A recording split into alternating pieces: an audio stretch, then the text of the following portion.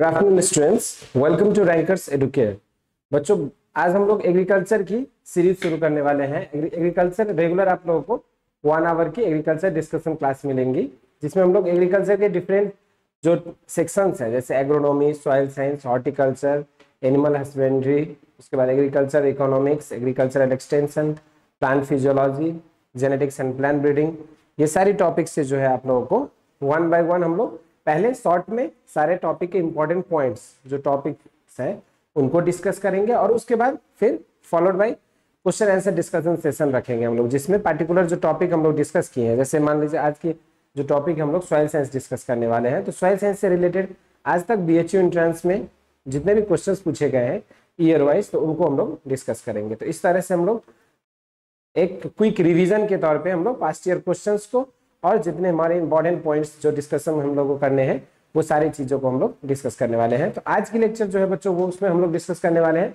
Soil science के बारे में, ठीक है? सॉइल साइंस यानी कि मृदा विज्ञान। तो बच्चों, अगर देखेंगे आप लोग सॉइल साइंस से तो टोटल सॉइल साइंस में हमें जो सेक्शंस इंपॉर्टेंट सेक्शंस जो कवर करने हैं, वो है सॉइल साइंस का इंट्रोडक्शन बेसिकली सॉइल साइंस होता क्या है? सॉइल साइंस में किन सब चीज़ों के बारे में हम लोग को अध्ययन करनी होती है। उसके बाद सॉइल साइंस के बाद नेक्स्ट जो हम लोग का इंपॉर्टेंट सेक्शन जो हम लोग को डिस्कस करना है, वो है सॉइल प्रोफ़ाइल के बारे में, ठीक है? सॉइल कैसे फॉर्मेशन होती है सॉइल में क्या क्या प्रॉपर्टीज़ होती है, उसके बारे में सॉइल प्रॉपर्टीज़ में ऑर्डर डिस्कस करेंगे। उसके बाद सॉइल के जो ट्वेल्व ऑर्डर्स होते हैं बच्चों सॉइल की जो अगर आप लोग बात करेंगे तो यहाँ पे ट्वेल्व ऑर्डर्स होते हैं सॉइल के। इंसेप्टिसोल वर्टिसोल इस तरह से, ठीक है? ऑक्जीसोल एल्फिसोल तो इन सब सॉइल ऑर्डर्स के बारे में बात करेंगे। उसके बाद हम लोग बात करेंगे सॉइल्स इन इंडिया जिसमें हम लोग बात करने वाले हैं बच्चों। टोटल अगर आप इंडियन सॉइल्स की बात करोगे तो इंडिया में एलोवियल सॉइल उसके बाद red soil black soil laterite soil loamy soil इस तरह से करके डिफरेंट कैटेगरीज ऑफ़ सॉइल है। अब उसमें से कौन सी सॉइल सबसे एबंडेंट है? कितनी सबसे ज़्यादा एरिया वाइज कौन सी सॉइल पाई जाती है? उसके बाद सबसे ज़्यादा जैसे एलोवियल सॉइल के बारे में बात करेंगे तो एलोवियल सॉइल सबसे अधिक कौन सी स्टेट में पाई जाती है? एलोवियल सॉइल में कौन कैसी क्रॉप्स की कल्टीवेशन हो सकती है। इस तरह की सारी चीज़ें इंपॉर्टेंट पॉइंट्स जो हम लोग सॉइल्स इन इंडिया में डिस्कस करेंगे, ठीक? उसके बाद नेक्स्ट हम लोग की बात करेंगे हम लोग soil fertility and soil productivity की बच्चों। सॉइल फर्टिलिटी और सॉइल प्रोडक्टिविटी की अगर बात की जाए तो सॉइल फर्टिलिटी क्या होता है और प्रोडक्टिविटी क्या होता है? जैसे अगर पर्टिकुलर हम लोग सॉइल की बात करेंगे तो सॉइल में जो एबिलिटी होती है न्यूट्रिएंट्स को प्रोवाइड करने की तो the ability of soil to provide the necessary nutrients to the crop plants is called soil fertility मतलब उत्पादन क्षमता। और उसके बाद यह है हमारा मृदा उत्पादकता। अगर मृदा उत्पादकता की बात करें तो कितना एबिलिटी टू प्रोड्यूस है? यहाँ पे अगर सॉइल एक फर्टाइल है तो ये ज़रूरी नहीं कि वो प्रोडक्टिव होगा। लेकिन अगर एक कोई भी मृदा, अगर वो हमारा उत्पादन देता है, यानी कि प्रोडक्टिव है तो ये नेसेसरी है कि वो सॉइल कैसा होना चाहिए? फर्टाइल होना चाहिए। तो इन सब के बारे में हम लोग डिस्कस करने वाले हैं। उसके बाद नेक्स्ट टॉपिक हमारी होगी प्रॉब्लमेटिक सॉइल्स ऑफ़ इंडिया जैसे बच्चों बात करेंगे हम लोग प्रॉब्लमेटिक सॉइल्स ऑफ़ इंडिया में तो प्रॉब्लमेटिक सॉइल मतलब क्या होता है? कैसे?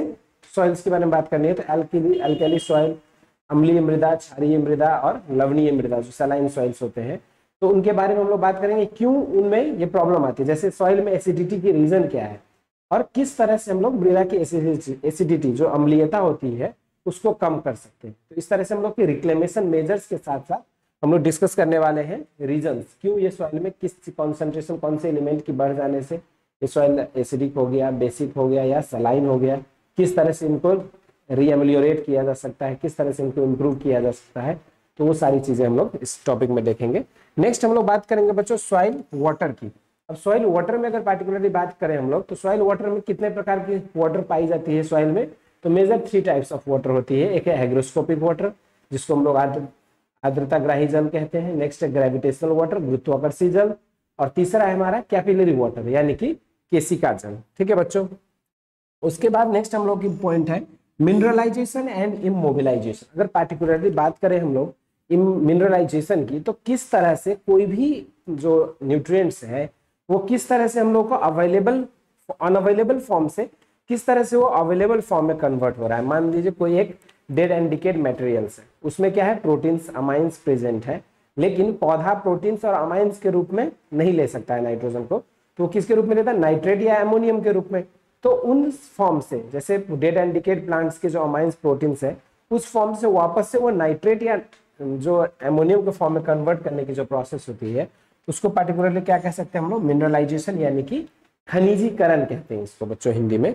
उसके बाद नेक्स्ट है इमोबिलाइजेशन इमोबिलाइजेशन मतलब क्या होता है? कोई भी अगर पोषक तत्व, कोई भी न्यूट्रिएंट्स अगर अवेलेबल फॉर्म में है, उनको वापस से अनअवेलेबल फॉर्म में कन्वर्ट कर दिया जाए तो उसको हम लोग इमोबिलाइजेशन कहेंगे, ठीक है? उसके बाद इन सब में देखना होता है हमें सी एन रेशियो की बात आती है कार्बन नाइट्रोजन की रेशियो की कितनी होनी चाहिए, तब जाके मोबिलाइजेशन होगा। कितना होगा तो इमोबिलाइजेशन होगा। ह्यूमस की कितनी होती है? नॉर्मल सॉइल की सी एन रेशियो कितनी होती है? तो ये सारी चीज़ें हम लोग को देखनी है। नेक्स्ट हम लोग का जो टॉपिक है बच्चों, वो है manures and fertilizer manures and fertilizer क्या है? तो सॉइल साइंस का एक इंपॉर्टेंट सेक्शन है, जिससे देखेंगे तो एवरी ईयर एक अराउंड दो तीन क्वेश्चन आते हैं। इसमें क्या क्या पढ़ने होते हैं?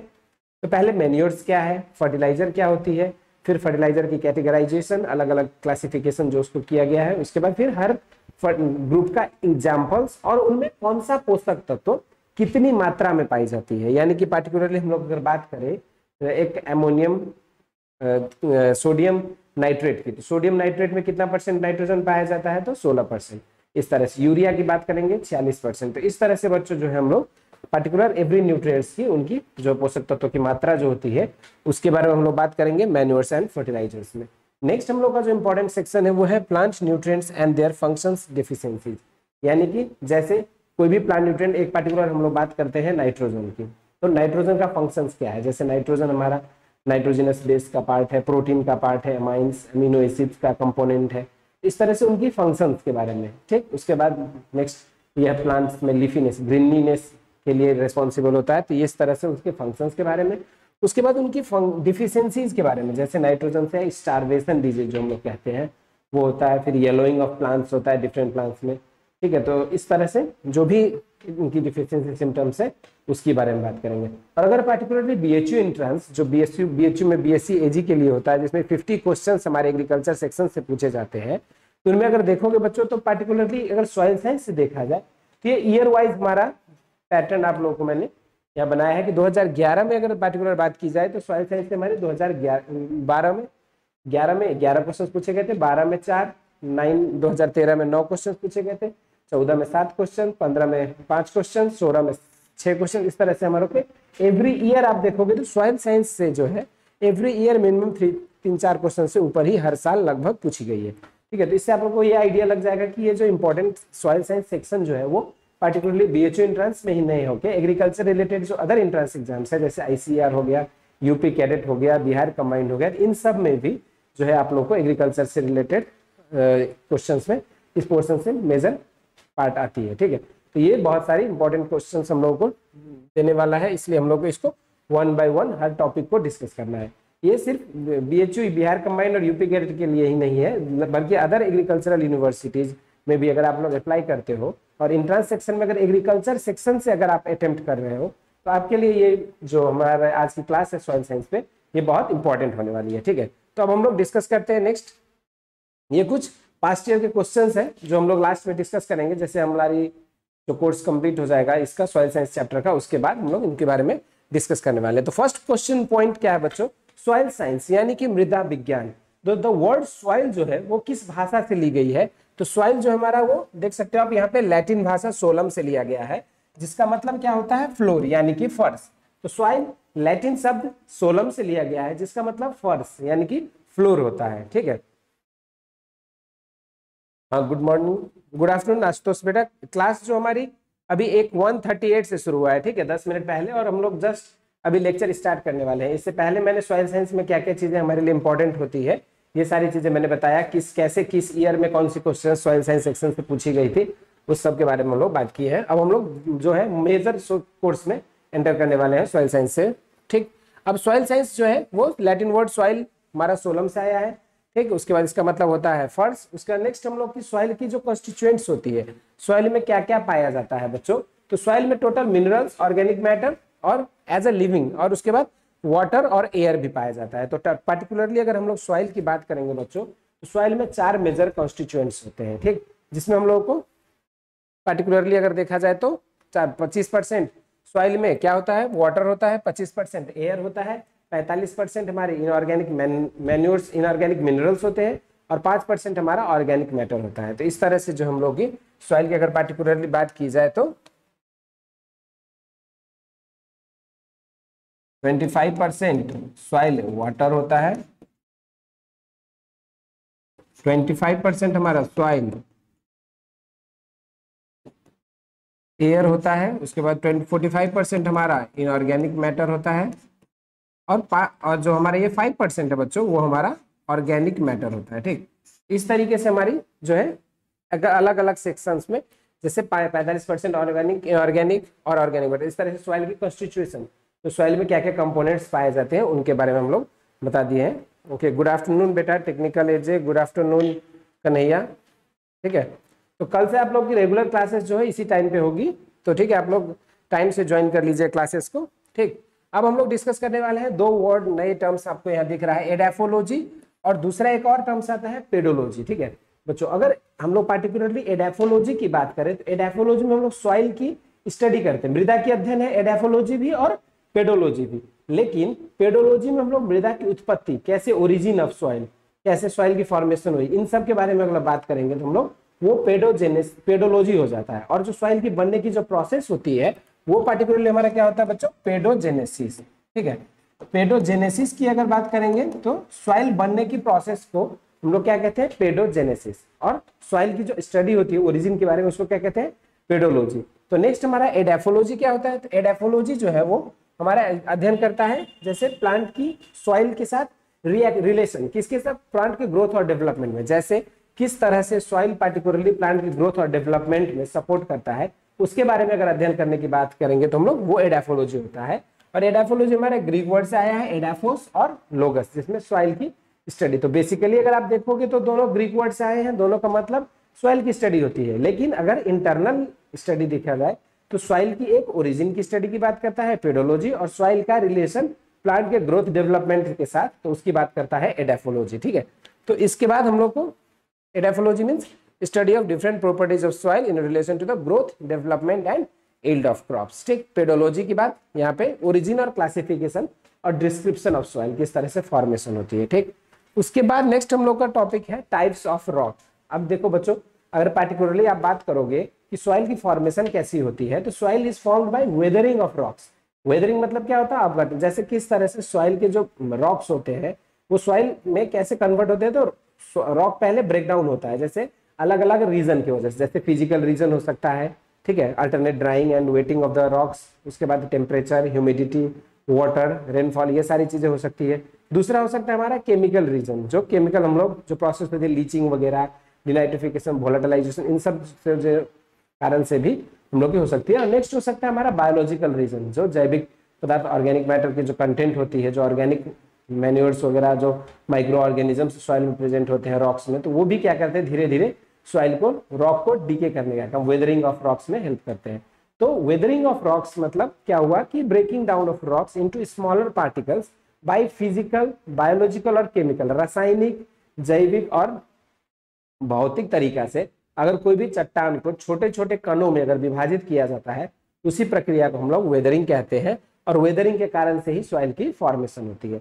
तब वेदरिंग किस चीज़ की हो रही है बच्चों? रॉक्स की वेदरिंग हो रही है। तो इसमें हम लोग देखेंगे पार्टिकुलर रॉक्स कितने प्रकार की होती है। तो रॉक्स जो है मेजर हम लोग बात करेंगे अगर तो रॉक्स तीन प्रकार की होती है। एक होता है इग्नियस रॉक मेटामॉर्फिक रॉक और सेडिमेंट्री रॉक इग्नियस रॉक मतलब उसको हिंदी में हम लोग क्या कहते हैं बच्चों, अग्नेय चट्टान कहते हैं, ठीक?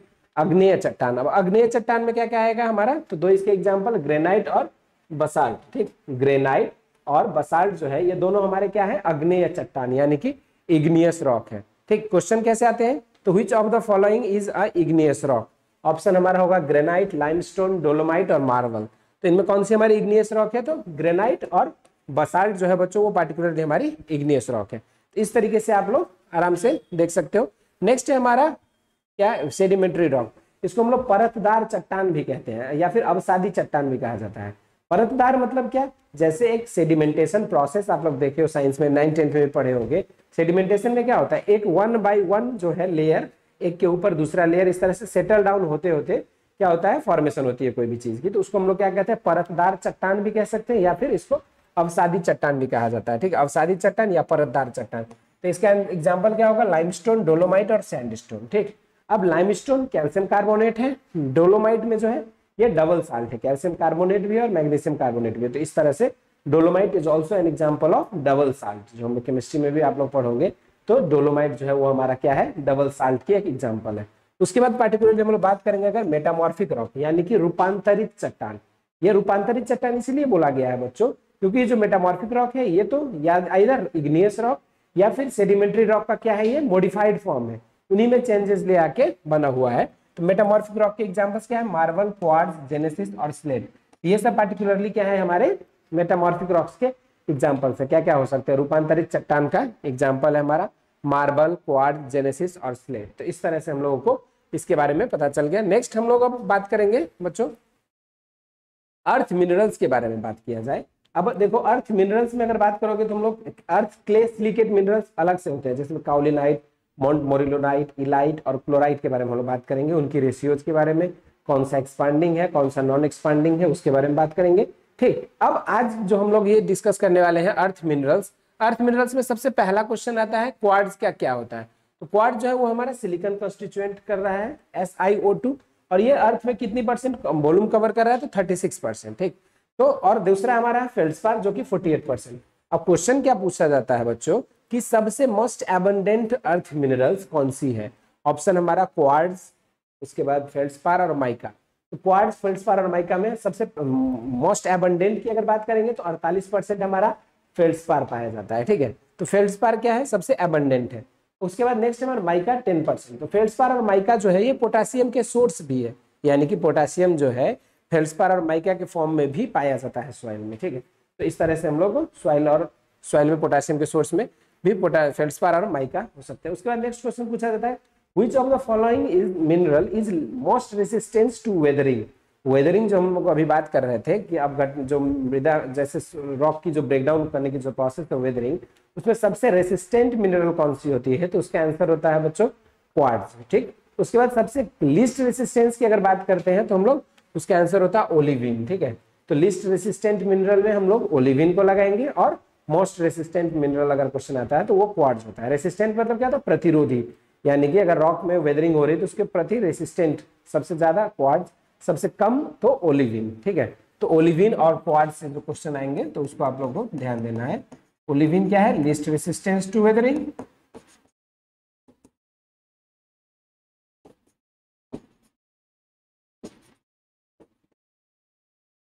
और जो क्वाड है वो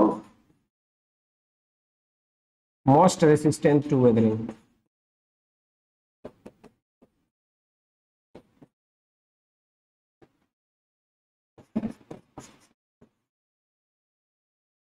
इस तरीके से स्टूडेंट्स आप लोग कर सकते हो कि कौन सा मोस्ट रेसिस्टेंट है, कौन सा लिस्ट रेसिस्टेंस है, ठीक? उसके बाद बच्चों अर्थ मिनरल्स के बाद नेक्स्ट हम लोग अब देखेंगे सॉइल की फॉर्मेशन कैसे होती है और उसमें कैसे एक्टिव फैक्टर कौन सी है? पैसिव फैक्टर कौन सी है? सक्रिय कारक, निष्क्रिय कारक जो हम लोग बात करते हैं सॉइल फॉर्मेशन के तो उसके बारे में बात करते हैं। तो soil is form by weathering of rocks and minerals यहाँ पे सबसे पहला ही पॉइंट हमारा क्या है? वेदरिंग ऑफ़ रॉक्स और मिनरल्स यानी कि मिट्टी का निर्माण चट्टानों और और खनिजों के अपक्षय से होता है अपक्षय ठीक तो वेदरिंग ऑफ़ रॉक्स से होती है। और नेक्स्ट हम लोग सॉइल साइंस के फादर यानी कि पेडोलॉजी के जो जनक है वो वीवी डॉकुचेव को कहा जाता है। वीवी डॉकुचेव जो है वो पार्टिकुलरली क्या है हमारे सॉइल साइंस के जनक है। फादर ऑफ़ पेडोलॉजी जो हम लोग पार्टिकुलरली वीवी डॉकुचेव को कहते हैं। इन्होंने ही शुरुआत में सॉइल साइंस की स्टार्ट किया था। इस पे रिसर्च सोलम वर्ड का पता लगाना, ये सारी चीज़ें इन्होंने की थी इसलिए इनको फादर ऑफ़ सॉइल साइंस कहा जाता है, यानी कि फादर ऑफ़ पेडोलॉजी, ठीक? नेक्स्ट अब हम लोग बात करेंगे सॉइल फॉर्मेशन, जैसे किस तरह से मृदा का निर्माण होता है। तो मृदा का निर्माण अपक्षय से होता है, चट्टानों और खनिजों की अपक्षय से। अब चट्टानों और खनिजों की अपक्षय में अगर देखोगे तो क्या क्या कारक जो है मुख्य रूप से प्ले कर सकते हैं रोल तो एक है हमारा पैसिव फैक्टर एक्टिव फैक्टर और नेचुरल फैक्टर पैसिव फैक्टर मतलब क्या होता है? निष्क्रिय कारक। अब निष्क्रिय कारक क्या क्या हो सकते हैं और सक्रिय कारक क्या क्या हो सकते हैं? तो निष्क्रिय कारक में हमारा पेरेंट मटेरियल और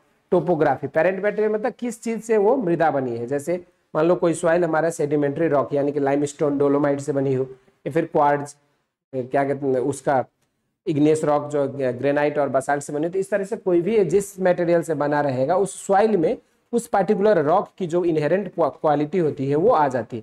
इस तरीके से पेरेंट मटेरियल जो है वो एक तरह का पैसिव फैक्टर है जो उसमें हेल्प करता है। नेक्स्ट होता है स्लोप टोपोग्राफी टोपोग्राफी मतलब जैसे मान लो एक हम लोग देखेंगे प्लेन लैंड प्लेन लैंड में क्या होता है? एक जो स्लोप होती है वो लैंड की इक्वल होती है इक्वली डिस्ट्रीब्यूटेड रहता है। नेक्स्ट होता है हमारा जो हिली एरियाज़ की लैंड होती है, उसमें देखोगे तो उबर खाबर ज़मीन रहते हैं। पहाड़ वाला जो इलाका होता है तो उसमें स्लोप सर्टेन रहता है। उसमें हम लोग जो कौन सी फ़ार्मिंग ज़्यादा स्लोपी लैंड में यूज़ होता है, ये भी क्वेश्चन आता है बच्चों। तो उसका आंसर होता है कंटूर फ़ार्मिंग यानी कि समोच खेती। समोच खेती की अगर बात करोगे तो वो मुख्य रूप से किसमें यूज़ होता है? हिली एरियाज़ में, जो स्लोपी लैंड्स होते हैं, उसमें समोच खेती से क्रिया कृषक क्रियाएँ की जाती है, ठीक? नेक्स्ट हम लोग का सक्रिय कारक की अगर बात करोगे तो क्लाइमेट जलवायु और ऑर्गेनिज्म ऑर्गेनिज्म मतलब जो भी सूक्ष्म कीटाणु, जो पोषक, जो कीटाणु हमारे मिट्टी में पाए जाते हैं, वो और उसके साथ साथ जो क्लाइमेट जलवायु। जलवायु कैसे? मान लो एक चट्टान है, उसको हम लोग क्या कर रहे हैं? रेगुलर उस पर सनलाइट भी पड़ रहा है, धूप की किरणें पड़ रही है और उसके साथ साथ उसमें वाटर भी जा रहा है, दिन। और रेगुलर वो क्या हो रहा है? गर्म हो रहा है, ठंडा हो रहा है। इस तरीके से क्या होता है, जब regular alternate wetting and drying होने लगती है उस सॉइल रॉक की पार्टिकुलर तो वहाँ पे क्रैक की फॉर्मेशन होती है। और इस तरीके से क्या होता है, जो है वो ब्रेक डाउन होकर स्मॉलर पार्टिकल्स में चला जाता है और फिर धीरे धीरे वो सॉइल में कन्वर्ट होते हैं। Eight hundred to thousand years लगता है सॉइल निर्माण में, एक लेयर बनने के लिए। तो इस तरीके से क्लाइमेट भी हमारा एक तरह का सक्रिय कारक, यानी कि एक्टिव फैक्टर है। उसके बाद नेक्स्ट हम लोग नेचुरल फैक्टर की अगर बात करेंगे तो नेचुरल फैक्टर में क्या होता है? प्राकृतिक कारक time and age of land यानी कि जो कोई पर्टिकुलर भूमि है, वो कितनी पुरानी भूमि है तो उसके हिसाब से भी होता है। जो नया न्यूली फॉर्म्ड सॉइल होते हैं, जो नया बनी हुई मृदा रहती है, वो उतनी फर्टाइल नहीं रहती है, जितनी हमारी जो पुरानी, जो ऑलरेडी वेल रॉटन सॉइल है, जो जिसमें ऑर्गेनिक मैटर की मात्रा कार्बनिक पदार्थ की अधिक है, और जो बहुत पहले से बन चुकी है तो उसमें अगर देखोगे आप तो पोषक तत्वों की मात्रा भी अधिक रहती है, और वो फ़सल उत्पादन के लिए भी अच्छा माना जाता है। तो इस तरीके से हम लोग सॉइल कैसे निर्माण होती है, उसके कारक की बात कर ली है, ठीक? नेक्स्ट उसके बाद बच्चों, हम लोग बात करेंगे सॉइल की होराइजन की। अगर पर्टिकुलरली देखोगे तो सॉइल में कितने मृदा समस्तर होते हैं। इसको हिंदी में क्या कहा जाता है? सॉइल होराइजन को मृदा समस्तर। तो पर्टिकुलरली देखोगे तो हम लोग यहाँ पे चार मृदा समस्तर की बात करेंगे ओ ए बी और सी ठीक? सबसे पहला जो मृदा समस्तर होता है बच्चों, उसका नाम है ऑर्गेनिक मृदा समस्तर, जो कि यहाँ देख रहे हो आप। ठीक। ऑर्गेनिक मृदा समस्तर में यहाँ पे क्या हो रहा है? क्रॉप की कल्टीवेशन हो रही है। अब पर्टिकुलर यहाँ पे क्या होता है? ये जो ऐसी कृषित भूमि पे ये नहीं पाया जाता। ये अकृषित भूमि, जैसे वन जंगल वगैरह में देखोगे तो ये जो फॉरेस्ट सॉइल होते हैं, उनमें ये हमारा जो पहला लेयर है, ये ओ होराइजन का ये पाया जाता है।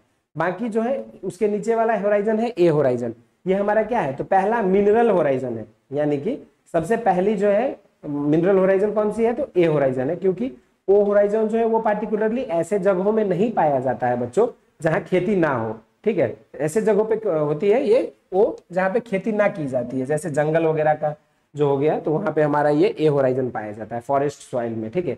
इसको हम लोग वर्जिन सॉइल भी कहते हैं, क्योंकि इस पर खेती नहीं हुई रहती है। तो ये अनकल्टिवेटेड लैंड वगैरह जो होते हैं, उनमें पाया जाता है, ठीक?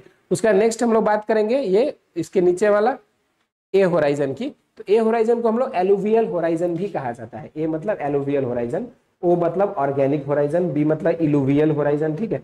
इस तरह से सबके अलग अलग नेम दिए गए हैं। तो ओ होराइजन से हम लोग को दो पॉइंट सबसे ऊपर मोस्ट मिनरल होराइजन जो है वो हमारा ए होराइजन है, ठीक? सबसे ऊपर ही वाला है। ये ओ होराइजन सिर्फ़ जंगलों में और वर्जिन सॉइल में पाया जाता है, जहाँ पे खेती नहीं की गई हो, ठीक? उसके बाद पर्टिकुलर अगर बी होराइजन की बात करोगे तो वो उसमें क्या होता है? सबसे ज़्यादा जो पोषक तत्वों की क्षति, यानी कि वॉशिंग आउट जो होती है, वो हमारी इसी में होती है, ठीक?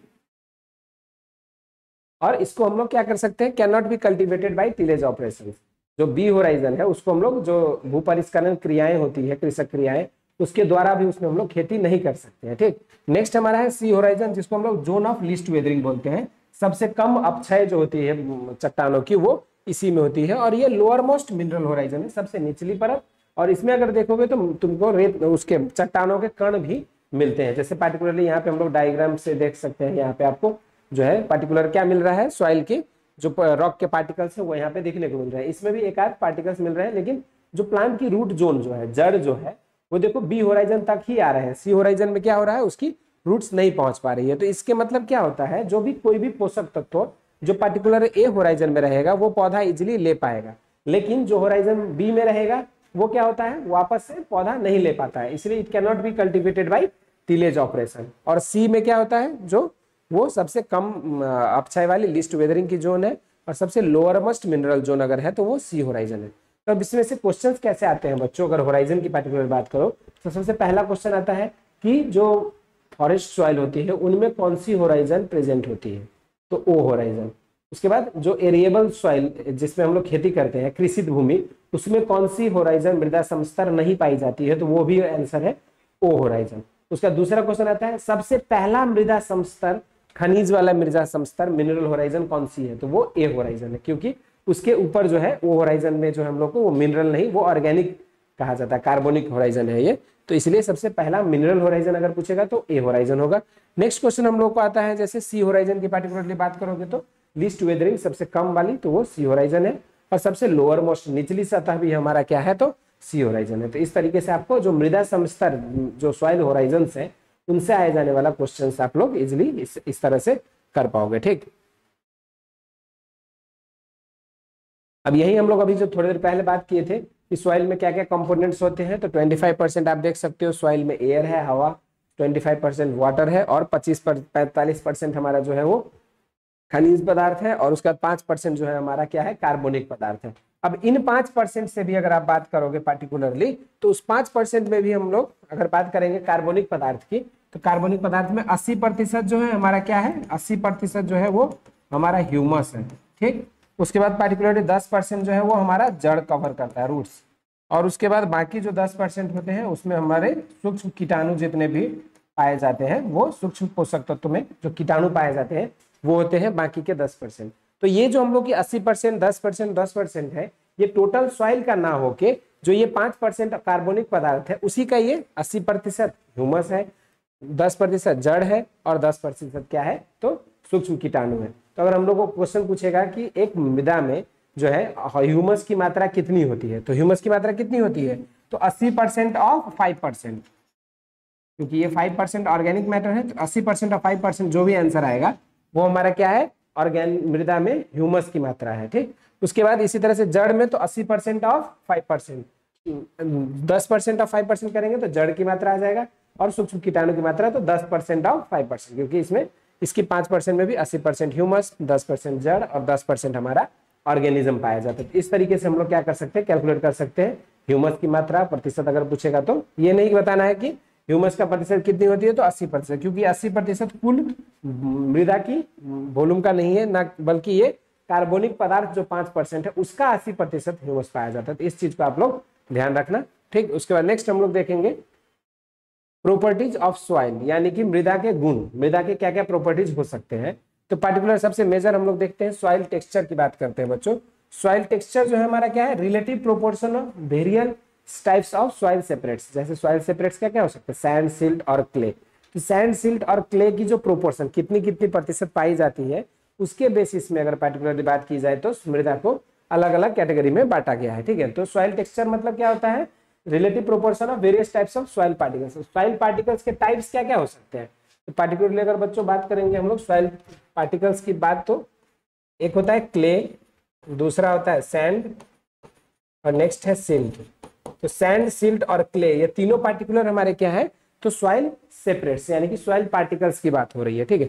तो ये तीनों हमारे सैंड सिल्ट और क्ले की ही प्रोपोर्शन जो होती है, कितना मात्रा में सैंड पाया जाएगा, रे, बालू कितना मात्रा में जो है, दो क्ले की मात्रा कितनी होगी और जो सिल्ट है उसकी मात्रा कितनी होती है? सबकी परसेंटेज वाइज अगर प्रोपोर्शन की बात करेंगे तो उसी को हम लोग सॉइल टेक्सचर कहते हैं। उसके बाद नेक्स्ट क्वेश्चन जो हम लोग को इस पॉइंट से, कई बार क्वेश्चन पूछा गया 2020 में हम लोगों को ये सिल्ट क्ले का साइज़ पूछा गया था बी एच एंट्रेंस 2020 की अगर पार्टिकुलर बात करेंगे तो 2020 में क्ले का आकार पूछा हुआ था, ठीक है? तो इस तरीके से हम लोग को हर जो सॉइल पार्टिकल्स है, जैसे ग्रेवल ग्रेवल मतलब क्या है? कंकड़ वगैरह, इसका साइज़ कितना होता है? महीम बालू, उसके बाद जो है मोटी रेत बालू, इसकी साइज़ कितनी होती है? सिल्ट की आकार कितनी होती है? इस तरह से सबका याद करना है। इसके ट्रिक बहुत सिंपल है। सबसे पहला हम लोग बारह, दो एम एम से अधिक जो होगी, उसको हम लोग ग्रेवल या कंकड़ कहेंगे। अब दो बस ज़ीरो ज़ीरो पॉइंट एक डेसिमल इधर करना है। जो कोर्स सैंड होगा 0.2 से 2 एम mm, उसका फाइन सैंड होगा 0.02 से 0.2 एम mm, और सिल्ट होगा 0.02 से 0.002 एम mm, और उसके बाद जो क्ले होगा वो 0.002 एम mm से कम। तो ये क्ले पार्टिकुलरली 2020 बीएचयू 2020 में पूछा हुआ क्वेश्चन था ठीक? और पार्टिकुलर अगर बीएचयू 2020 की बात करें तो बहुत सारी क्वेश्चन जो है आपकी रिपीटेड भी आई थी तो इसलिए भी आप लोग वहाँ से भी देख सकते हो पास्ट ईयर क्वेश्चन से काफ़ी क्वेश्चन रिपीट होते हैं। तो इसके बाद हम लोग जो सॉइल साइंस जैसे हम लोग सिलेबस कंप्लीट हो जाएगी, उसके बाद हम लोग बात करने वाले हैं इसके बारे में कि सॉइल साइंस से रिलेटेड कितने पास्ट ईयर क्वेश्चंस कराए गए थे, ठीक है? तो बेटा एग्रीकल्चर इंजीनियरिंग जो है गुड आफ्टरनून गुड आफ्टरनून अपना एग्रीकल्चर इंजीनियरिंग जो है, जैसे सॉइल साइंस कंप्लीट हो जाएगी, क्योंकि काफ़ी बच्चे नए जो लोग जुड़े थे उनकी सॉयल साइंस भी नहीं हो, हो पाई थी इसलिए सॉइल साइंस को पहले कंप्लीट करके इसके बाद हम लोग एग्रीकल्चर इंजीनियरिंग ही हमारा नेक्स्ट टॉपिक होगा क्योंकि काफ़ी हमारी ऑफलाइन बैचेज जो थे उसमें एग्रीकल्चर इंजीनियरिंग ही चल रही थी या चलने वाली थी तो इसलिए एग्रीकल्चर इंजीनियरिंग को कवर करवा देंगे। और पर्टिकुलरली एग्रीकल्चर इंजीनियरिंग जो है बच्चों वो आपकी बिहार कंबाइंड और यूपी कैडेट जैसे जो इंट्रेंस एग्ज़ाम्स है और आईसीआर में पर्टिकुलरली इंपॉर्टेंट है। और पर्टिकुलर अगर जो बच्चे बी एच यू की तैयारी कर रहे हैं तो उनके लिए एग्रीकल्चर इंजीनियरिंग का जो हम लोग का बेसिक जो कॉन्सेप्ट होते हैं वो इनफ है। लेकिन जो बच्चे बिहार कंबाइंड यूपी कैडेट की तैयारी कर रहे हैं, उनके लिए एग्रीकल्चर इंजीनियरिंग की थोड़ी सी डिटेल स्टडी की आवश्यकता होती है। तो उसको हम लोग इसके बाद तुरंत जो है सॉइल साइंस जैसे दो से तीन लेक्चर्स में हमारी कंप्लीट हो जाएगी। उसके बाद हम लोग पास ईयर क्वेश्चन करा के फिर हम लोग एग्रीकल्चर इंजीनियरिंग की ही बात करने वाले हैं। ठीक है बेटा? उसके बाद नेक्स्ट हम लोग बात करते हैं सॉइल की। अगर देखोगे तो सॉइल में लोमी सॉइल एक होता है, ठीक? लोमी सॉइल मतलब क्या होता है? जिसमें ऑर्गेनिक मैटर की मात्रा अधिक होगी। जिसकी जो जल धारण क्षमता होती है वाटर होल्डिंग कैपेसिटी वो अधिक होगी और जिसमें और जो सॉइल सूक्ष्म कीटाणु की मात्रा भी अधिक होगी, जो उर्वरक भूमि होगी जिसपे हर तरह की फ़सल की उत्पादन की जा सकती है। वैसे मृदा को हम लोग क्या कहते हैं? लोमी सॉइल यानी कि दोमट मृदा। अब पर्टिकुलर बच्चों, दोमट मृदा मतलब क्या होता है? तो ये दो प्रकार की होती है। एक होती है बलुई दोमट और दूसरा होता है हमारा चिकनी दोमट, जिसमें अगर आपकी सॉइल में अगर क्ले की मात्रा, जो पर्टिकुलर बात करते हैं हम लोग क्ले की मात्रा अगर अधिक है तो उसको हम लोग क्या कहेंगे? बच्चों चिकनी दोमट। अब चिकनी दोमट जो है, मुख्य रूप से ऐसे खेती के लिए उपयुक्त होता है, जिसको ज़्यादा पानी चाहिए, जैसे धान, गेहूँ, उसके बाद गन्ना, इन सब खेतियों के लिए अगर देखोगे, बात करोगे तो हम लोग चिकनी दोमट यानी क्ले लोम सॉइल की ज़रूरत होती है। लेकिन दूसरा जो कैटेगरी होता है हमारा, वो है सैंडी लोम, यानी कि बलुई दोमट। तो जो बलुई दोमट मिट्टी होती है, जो सैंडी लोम सॉइल होता है बच्चों वो हमारी सब्जियों खेती के लिए, जो वेजिटेबल्स क्रॉप हम लोग लगाते हो, जैसे कुकर बिटेसी हो गया या फिर अन्य वेजिटेबल क्रॉप्स उन सब के लिए जो हम लोग बलुई दोमट की यूज़ करते हैं। जैसे इससे क्वेश्चन अगर आप लोग देखोगे, नीचे हम बताने वाले हैं, जैसे हेवी सॉइल और लाइट सॉइल जो हल्की मृदा होती है और भारी मृदा, उससे भी काफ़ी क्वेश्चन आते हैं कि कौन सा फ़सल जो हम लोग हल्की मृदा में उगाई जा सकती है, कौन सा फ़सल हम लोगों की जो है भारी मृदा में उगाई जा सकती है तो इस तरह के क्वेश्चन भी आप लोग को देखना है। तो सबसे, अगर क्वेश्चन पूछा था बेस्ट सॉइल जो फ़सल उत्पादन के लिए अच्छी हो तो वो लोमी सॉइल होती है। ऑप्शन में अगर लोमी सॉइल नहीं भी रहते तो हम लोग किसको चूज़ करना होता है तो एलुवियल सॉइल जो पर्टिकुलर हम बात करते हैं, जिसमें कार्बोनिक पदार्थ की मात्रा जो अधिक होती है। जो भारत में सबसे अधिक पाए जाने वाला मृदा कौन सा है तो जलोट मृदा, जिसको हम लोग एलुवियल सॉइल कहते हैं इंग्लिश में, ठीक है? तो इस तरह की चीज़ें हम लोग डिस्कस करने वाले हैं। नेक्स्ट है हमारा बेसिक प्रॉपर्टी ऑफ़ सॉइल जिसको नहीं बदला जा सकता है, वो क्या है तो सॉइल टेक्सचर है। क्योंकि सॉइल की जो स्ट्रक्चर की अगर बात करोगे सॉइल स्ट्रक्चर अभी इसके बाद हम लोग देखने वाले हैं, जैसे प्लेट लाइक स्ट्रक्चर होता है, क्रम्बी स्ट्रक्चर स्फेरिकल स्ट्रक्चर ठीक है? ग्रेनुलर स्ट्रक्चर तो ये मृदा के आकार कैसे कैसे होते हैं, उसके कणों के आकार के हिसाब से, वो हम लोग इसके बाद देखेंगे। और सॉइल टेक्सचर बच्चों, ऐसी प्रॉपर्टी है जिसको कोई भी कृषक क्रियाओं और भूपरिष्करण की गतिविधि द्वारा नहीं बदला जा सकता। जैसे मान लो, कोई भी एक कंपोनेंट है, जैसे मान लो हमने दूध दूध का ही बात कर रहे थे, जो डेयरी में हम लोग पढ़ते हैं। तो उसकी कंपोनेंट कितना उसमें फैट है, कितना उसमें एसएनएफ है, उसको हम लोग बदल नहीं सकते। भले उसके फॉर्म को हम लोग चेंज कर सकते हैं। मान लो दूध से हम लोग दही कर दिए, इस तरह से चेंज कर सकते हो दूध की, लेकिन उसमें हम लोग फैट और एसएनएफ की मात्रा अगर जब तक उसकी कंपोजिशन को नहीं बदल देंगे, जैसे दूध में से हम लोग क्रीम हटा देंगे तो फैट की मात्रा घट जाएगी, उसमें क्रीम ऐड कर देंगे तो फैट की तो वो तो क्या हो गया, उसकी प्रॉपर्टीज़ को ही हम लोग चेंज कर रहे हैं। लेकिन इसको हम लोग नहीं चेंज कर सकते हैं, ठीक है सॉइल टेक्सचर को।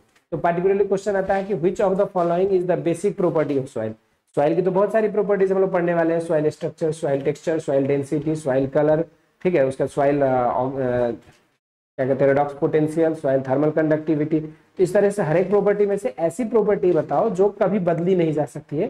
तो वो है सॉइल टेक्सचर ठीक है? मूल संपत्ति मिट्टी का बिनावट है और इसे कभी बदला नहीं जा सकता है, ठीक? उसके बाद नेक्स्ट हम लोग बात करेंगे बच्चों, ये सॉइल टेक्सचर को कैसे डिटरमाइन किया जाता है? जैसे अब देखो, ये है हमारा सॉइल टेक्सचर ट्रायंगल डायग्राम ठीक है? अब इसमें क्या किया जाता है? मान लो एक आपको मिट्टी की कुछ सॉइल की सैंपल दी गई है। उसमें से आप क्या करोगे?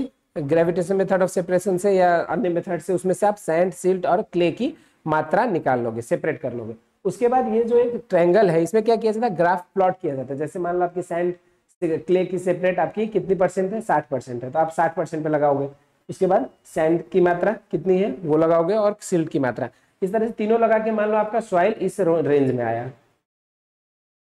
मान लो आपका पार्टिकुलर सॉइल इस रेंज में आया। तो आप क्या करोगे? ये रेंज में कौन सी सॉइल पड़ रही है क्लेई लोम तो इसका मतलब जो आपकी मृदा है, उसकी टेक्सचर क्या है? क्लेई लोम तो सारे सैंड सिल्ट और क्ले की परसेंटेज को प्लॉट करने के बाद जो बीच में सेंटर में जो भी पोर्शन आते हैं, उसको हम लोग क्या कहेंगे? पार्टिकुलरली क्ले लोम सॉइल अब क्योंकि यहाँ पे कौन सी सॉइल आ रही है? क्ले लोम तो ये टेक्सचर के परसेंटेज के हिसाब से हम लोग निकाल सकते हैं कि अपनी जो सॉइल की जो टेक्सचर होगी वो क्या होगी? क्ले लोम सॉइल ठीक है? तो ये हमला हम लोग का है सॉइल टेक्सचर डायग्राम जिसके सॉइल ट्रेंगुलर टेक्सचरल डायग्राम ठीक है? इसको कहते हैं, जिसके द्वारा हम लोग सॉइल की टेक्सचर को एनालिसिस कर सकते हैं, ठीक? नेक्स्ट क्वेश्चन बात यहाँ कर रहे थे हम लोग हेवी सॉइल और लाइट सॉइल यानी कि भारी मृदा और हल्की मृदा की बात कर रहे थे हम लोग। तो भारी मृदा मतलब क्या होता है? अगर कोई भी सॉइल में अगर क्ले की कंटेंट जो है, वो ज़्यादा है तो वो मृदा क्या हो जाएगी? भारी हो जाएगी। तो उसमें हम लोग को कोई भी कृषक क्रियाएँ, जितने भी टीलेज ऑपरेशन भू परिष्करण जुताई वगैरह जब करते हैं तो उसमें क्या होगी? कठिनाइयाँ उत्पन्न होती है। जैसे इतनी इजिली मशीन या हल जो है, उसको इजिली नहीं, स्मूथली नहीं चल पाएगा। तो उसको क्या कहेंगे हम लोग? हेवी सॉइल अब हेवी सॉइल कैसे फ़सलों के लिए है? तो कॉटन राइस और सोरगम जैसे फ़सल जो है, कपास, धान सोरगम जैसे मिलेट्स वगैरह, इन सब के लिए जो है हम लोग की कैसी सॉइल की ज़रूरत होती है? हेवी सॉइल की ज़रूरत होती है। मतलब भारी मृदा, जिसमें क्ले की कंटेंट ज़्यादा होती है।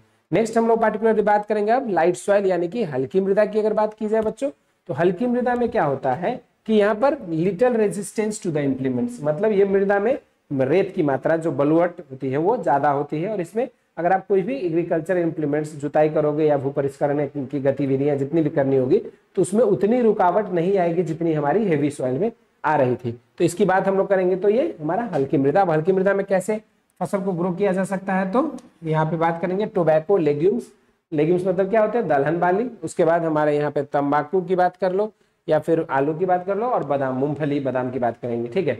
जिसे गरीबों का बादाम भी कहा जाता है। मूंगफली की अगर बात करेंगे तो एरेकिस हाइपोजिया, ठीक है? उसके बाद पोटैटो की बात करेंगे तो सोलेनम ट्यूब्रोसम, ठीक? ये सब सोलेनेसी फैमिली के हैं। निकोटियाना टोबैकम, लेगुमिनेसी मतलब इसकी फैमिली क्या हो गई? लेगुमिनेसी या फिर फैबेसी, जितने भी दलहन वाले होते हैं। सारे हमारे इसमें आएँगे। ठीक? एक एक्सेप्शन जो है, चना हमारा, चना जो है हम लोग हेवी सॉइल में भी ग्रो कर सकते हैं, ठीक है? तो चना के लिए जो मृदा हम लोग यूज़ करते हैं, वो हेवी सॉइल ही यूज़ किया जाता है, ज़्यादातर चना खेती के लिए। तो इस तरीके से हम लोग हल्की मृदा और भारी मृदा में कौन कौन सी फ़सल उगाई जा सकती है, इसके बारे में हम लोग देख लिए।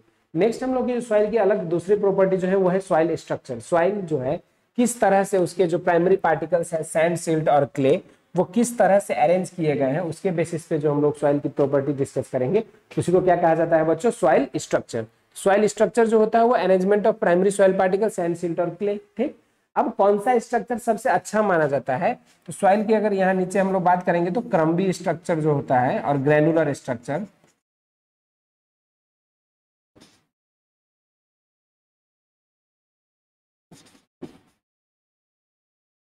सॉइल की अगर पार्टिकुलरली बात करोगे स्फेरिकल स्ट्रक्चर की तो सॉइल की स्फेरिकल स्ट्रक्चर हमारा ग्रेनुलर स्ट्रक्चर और क्रम्बी स्ट्रक्चर दो तरह के स्ट्रक्चर्स आते हैं, जो कि सॉइल में कल्टीवेशन के लिए सबसे उपयुक्त होते हैं। कौन सी सॉइल की जो है सबसे अच्छा माना जाएगा तो ग्रेनुलर और ये जो क्रम्बी स्ट्रक्चर है, ये सॉइल की सबसे अच्छी स्ट्रक्चर मानी जाती है, जिसपे अच्छे से खेती की जा सकती है। ये सब स्पेरिकल स्ट्रक्चर में ही आते हैं। और एक चीज़ और, जो हम लोग सॉइल स्ट्रक्चर की बात कर रहे थे कि सॉइल स्ट्रक्चर को बदला जा सकता है कृषक क्रियाओं द्वारा। तो ये उसकी बेसिक प्रॉपर्टी नहीं हो सकती, लेकिन सॉइल जो टेक्सचर थी उसको नहीं बदला जा सकता है। तो सॉइल टेक्सचर हमारा क्या है? पर्टिकुलरली सॉइल टेक्सचर जो है वो क्या है? बेसिक प्रॉपर्टी ऑफ़ सॉइल है, ठीक? अब नेक्स्ट यहाँ पे बात करेंगे हम लोग बच्चों सॉइल के स्ट्रक्चर के बारे में कैसे कैसे होती है। तो स्फेरिकल स्ट्रक्चर जो हम लोग भी बात कर रहे थे वो दो टाइप का इसमें हम लोग को देखना होता है। ग्रेनुलर और दूसरा क्रम्बी स्ट्रक्चर ठीक है? अब फ़सल उत्पादन के लिए सबसे बेस्ट अगर क्वेश्चन आएगा तो क्रम्बी अगर वो नहीं रहेगा ऑप्शन में तो ग्रेनुलर भी अच्छी मानी जाती है, ठीक? अब ये हमारे जो क्वेश्चन आएँगे इस तरह से तो ये केस बेस्ड होते हैं। जैसे कौन सी अगर ऑप्शन में रहेगा? मान लो क्वेश्चन दे दिया प्लेटी स्ट्रक्चर और स्फेरिकल स्ट्रक्चर तो स्फेरिकल स्ट्रक्चर हमारा अच्छा माना जाएगा। अगर मान लो ऑप्शन में दे दिया क्रम्बी ग्रेनुलर और इस तरह से तो हम लोग का आंसर कौन सी मानेंगे हम लोग? क्रम्बी स्ट्रक्चर को सबसे बेस्ट मानेंगे। अगर क्रम्बी नहीं रहेगा ऑप्शन में तो उसको हम लोग क्या करेंगे? ग्रेनुलर स्ट्रक्चर को हम लोग बेस्ट मानेंगे। तो इस तरह से हम लोग को ऑप्शन वाइज हम लोग को समझना है, लेकिन सबसे मोस्ट सुइटेबल जो होता है, वो है हमारा क्रम्बी स्ट्रक्चर सबसे most suitable structure for soil cultivation जो होती है पार्टिकुलरली क्रम्बी स्ट्रक्चर होगा, ठीक? उसके बाद बच्चों, हम लोग नेक्स्ट अगर बात किया जाए तो डेंसिटी ऑफ़ सॉइल की अगर बात करेंगे बच्चों तो डेंसिटी ऑफ़ सॉइल यानी कि मृदा की घनत्व की बात हो रही है यहाँ पर, मृदा की घनत्व।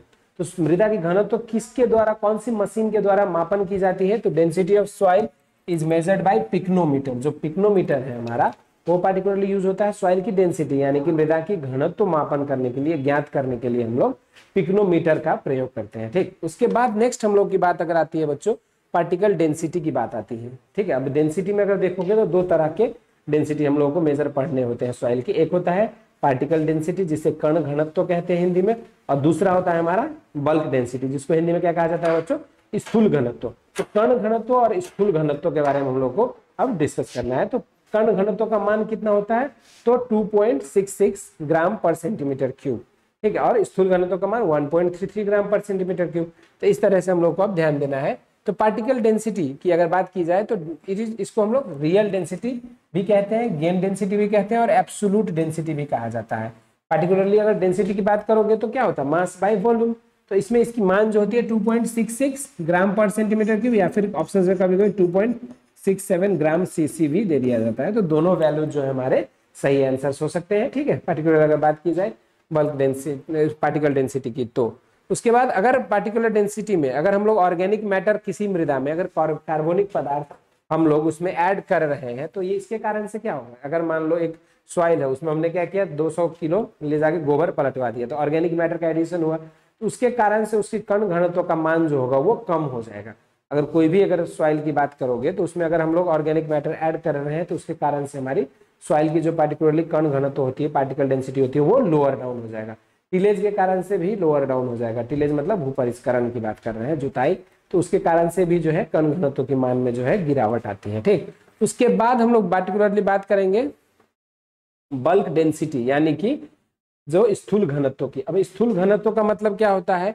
तो इसमें हम लोग दोनों वॉल्यूम को काउंट करते हैं। जैसे अगर पार्टिकुलरली हम लोग मृदा में अगर बात करोगे तो मृदा का डेंसिटी का मान कितना होता है? डेंसिटी मतलब डेंसिटी मतलब होता है हमारा मास बाई वॉल्यूम अगर हम लोग वॉल्यूम में सिर्फ़ सॉलिड वॉल्यूम की बात करेंगे तो हमारा कितना परसेंट वॉल्यूम होता है सॉइल में? सॉइल में सॉइल सॉलिड कितने होते हैं? फिफ्टी परसेंट होते हैं और ट्वेंटी फाइव परसेंट हमारा गैस होता है और ट्वेंटी फाइव परसेंट हमारा वाटर यानी कि लिक्विड होता है। तो इस तरीके से अगर देखोगे तो सॉइल में फिफ्टी परसेंट सॉलिड है।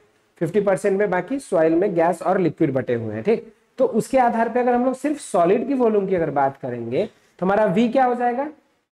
वी बाई टू इस तरीके से हमारा जो पार्टिकल डेंसिटी होगा, उसमें तो दोनों काउंट करते हैं तो इसलिए वो डबल होता है और बल्क डेंसिटी जो होता है, वो पार्टिकल डेंसिटी का आधा होता है। तो इसका रीजन अगर क्या होगा तो ये वॉल्यूम का ही खेल है बस। अगर वॉल्यूम में अगर हम लोग दोनों वॉल्यूम काउंट करें, उसका सॉलिड का भी और गैस का भी तो उसको पार्टिकुलरली अगर देखेंगे सॉलिड गैस दोनों को काउंट करके तो पार्टिकुलर दोनों में अगर देखेंगे तो उसमें पार्टिकल डेंसिटी में दोनों वॉल्यूम को काउंट करते हैं। और बल्क डेंसिटी में सिर्फ़ वी को काउंट किया जाता है। इसलिए जो है वो हमारा वहाँ पे डेंसिटी में इसका जो पार्टिकल डेंसिटी होता है, वो बल्क डेंसिटी का दो गुना होता है और बल्क डेंसिटी जो होता है, वो पार्टिकल डेंसिटी का आधा होता है। तो ये वॉल्यूम की वजह से होता है। नेक्स्ट है सैंडी सॉइल में और क्लेई सॉइल में किसका जो है कण घनत्व, स्थूल घनत्व ज़्यादा होता है। तो सैंडी सॉइल का स्थूल घनत्व ज़्यादा होगी। देन द क्ले सॉइल उसका नेक्स्ट इसमें भी ऑर्गेनिक मैटर या फिर टिलेज ऑपरेशन भू परिष्करण गतिविधि या फिर जो कार्बनिक पदार्थ का जो एडिशन करते हैं हम लोग सॉइल में, उसके कारण से स्थूल घनत्व का विमान में क्या होगा? गिरावट आ जाएगा बच्चों, ठीक है? तो इस तरीके से आप लोग स्थूल घनत्व और कण घनत्व के बारे में देख सकते हो। उसका नेक्स्ट क्वेश्चन आता है, जैसे ऑर्गेनिक मैटर का घनत्व कितना है? तो ज़ीरो ग्राम पर सी ठीक है? स्थूल घनत्व की इस तरह से सारे कंपोनेंट्स का अलग अलग स्थूल घनत्व भी देखना होता है। नेक्स्ट क्वेश्चन हम लोग की थर्मल कंडक्टिविटी थर्मल कंडक्टिविटी मतलब क्या होता है बच्चों? कि किस तरह से वो हीट को कंडक्ट कर रहा है। उस्मान चालकता की अगर बात करते हैं हम लोग तो वो उसी के बारे में तो उसको हम लोग क्या कहते हैं? Amount of heat flowing through a unit cross section area in a unit time यानी कि एक मान लो ये एरिया है पार्टिकुलर तो इसकी यूनिट एरिया में, एक यूनिट टाइम में कितना हीट ट्रांसफ़र हो रहा है, उसी को हम लोग क्या कहते हैं? थर्मल कंडक्टिविटी यानी कि एक इकाई एरिया से क्षेत्रफल से, एक एक सेकेंड में, एक पर्टिकुलर टाइम पर कितनी हीट वो कंडक्ट कर रहा है। तो उसको हम लोग क्या कहेंगे? थर्मल कंडक्टिविटी तो थर्मल कंडक्टिविटी जो होती है वो सैंडी सॉइल की ज़्यादा होती है as compare to the clay soil अब ये आप लोग एग्ज़ाम्पल में सिंपल देख सकते हो। अगर हम लोग कभी भूजा बनाते हुए देखे होगे चावल से तो चावल से जब भूजा बनता है तो वो सैंड उसमें हम लोग कैसी मिट्टी की यूज़ करते हैं? बलुई मिट्टी, बलु, रेत की ही यूज़ करते हैं। क्यों? क्योंकि रेत जो है अपने पास ज़्यादा समय तक हीट को रख पाता है। हीट कंडक्ट करने की जो उसकी कैपेसिटी होती है, वो बहुत हाई होती है। इसके कारण से जो है, उसमें हम लोग यूज़ करके जब चावल को भूनते तो उससे भूजा वूजा बनाने के लिए जो है, उसमें यूज़ कर सकते हो। उसमें सैंड सॉइल की यूज़ क्यों होती है? क्योंकि उसकी जो हीट कंडक्टिंग थर्मल कंडक्टिविटी की जो कैपेसिटी होती है, वो पार्टिकुलरली इसकी ज़्यादा होती है। इसके कारण से जो है, उसको हम लोग यूज़ कर सकते हैं, ठीक? नेक्स्ट हम लोग का जो है थर्मल कंडक्टिविटी की अगर बात करेंगे तो वो कैसे मॉइस्चर इंक्रीजेज जब नमी बढ़ती है थर्मल कंडक्टिविटी भी बढ़ जाती है। तो मतलब अमाउंट ऑफ़ मॉइस्चर जो वाटर है, वो अगर किसी भी सॉइल में अगर बढ़ जाएगी तो उसके कारण से जो उसकी उस्मान चालकता, जो थर्मल कंडक्टिविटी की बात होती है, वो भी मृदा की बढ़ जाती है। नेक्स्ट उसके बाद ऑर्गेनिक मैटर और टीले के कारण से जो है, वो डिक्रीज हो जाती है। तो ध्यान यहाँ देना है, बच्चों कौन सी चीज़ें से क्या चीज़ इंक्रीज हो रही है और डिक्रीज हो रही है? जैसे पार्टिकुलरली अगर ऑर्गेनिक मैटर और टीलेज यानी कि भूपरिष्करण और कार्बोनिक पदार्थ की बात करोगे तो उसके कारण से हमारा बल्क डेंसिटी भी डिक्रीज हो रहा डिक्रीज हो रही थी पार्टिकल डेंसिटी भी डिक्रीज हो रही थी, इसको धूल घनत्व और कण घनत्व दोनों घट रहे थे। और ये जो हमारा उस्मान चालकता थर्मल कंडक्टिविटी है, ये भी हमारा ऑर्गेनिक मैटर और टीलेस के कारण से क्या हो रहा है, घट जा रहा है। इन सब चीज़ों को आप लोग को ध्यान देना है, कौन सा चीज़ डिक्रीज हो रही है, कौन सी चीज़ इंक्रीज हो रही है। क्योंकि क्वेश्चन क्या आता है एडिशन व्हाट हैपेंस एक क्वेश्चन है what happens when organic matter is added in soil what happens to the value of thermal conductivity A increase B decrease C remains same और D none of the above ठीक है? अब इसको हिंदी में बता देते हैं। अगर किसी भी मिट्टी में अगर कार्बनिक पदार्थ अगर उसमें रखा जाए, चाहे मिलाया जाए तो उसमें उसकी उष्मान चालकता के मान में क्या होता है? बढ़ता है, घटता है, या जैसा था वैसे सेम रहता है, या फिर इनमें से, उपरोक्त में से कुछ भी नहीं। तो उसमें घटता है। तो इस तरीके से हम लोग को डिक्रीज इंक्रीज वाले जो रिलेशन है, वो उनको थोड़ा ध्यान देना है, ठीक है? क्योंकि इन्हीं में सबसे ज़्यादा कंफ्यूजन होती है। अगर आप ऑप्शन देखोगे तो उसमें इंक्रीज डिक्रीज और रिमेन्स कॉन्स्टेंट में फिर आप कंफ्यूज हो जाओगे। इसलिए ये ध्यान रखो कि ऑर्गेनिक मैटर और टीलेज कोई भी प्रॉपर्टी को वो डिक्रीज कर रही है। जैसे थर्मल कंडक्टिविटी को डिक्रीज कर रही थी, उसके बाद पार्टिकल डेंसिटी और बल्क डेंसिटी को भी डिक्रीज करती है, ठीक है? तो इस तरीके से कर सकते हो।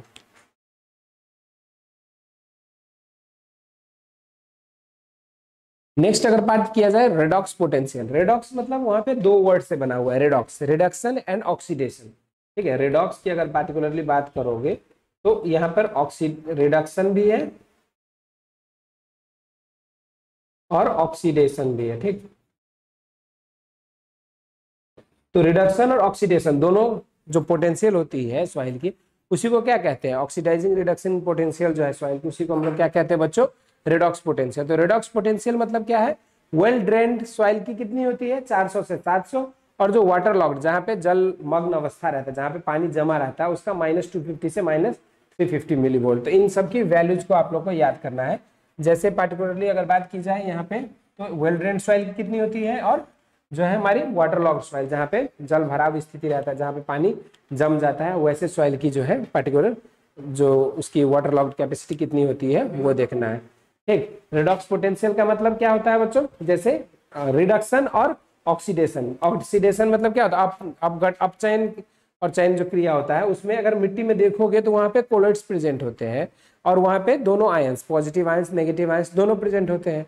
ठीक है, जैसे एल्युमिनियम भी हमारा प्रेजेंट होता है और क्लोरीन भी प्रेजेंट होता है। पॉजिटिव आयंस भी और नेगेटिव आयंस भी। तो इन सब के कारण से जो पॉजिटिव आयंस होते हैं और नेगेटिव आयंस होते हैं, उनके कारण से उसके मृदा में ऑक्सीडाइजिंग कैपेसिटी या रिड्यूसिंग कैपेसिटी जो है वो आ जाता है। जैसे हम लोग बात करते हैं पर्टिकुलर मृदा में नाइट्रोजन की बात अगर करते हैं तो हम लोग क्या बोलते हैं राइस में नाइट्रोजन किस रूप में लेता है वो? एमोनियम के रूप में लेता है।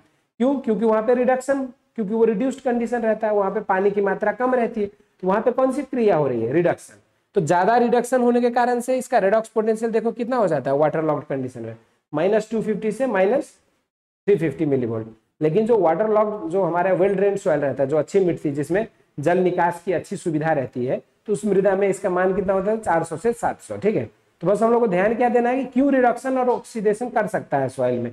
क्योंकि वहाँ पे दोनों ions positive ions negative ions दोनों प्रेजेंट रहते हैं इसके कारण से ये हो सकती है। नेक्स्ट क्वेश्चन हम लोग की प्लास्टिसिटी तो प्लास्टिसिटी मृदा की कितनी होती है? तो अगर क्ले की परसेंटेज पंद्रह परसेंट से अधिक हो जाएगा तो वो प्लास्टिक नेचर का बिहेव करता है।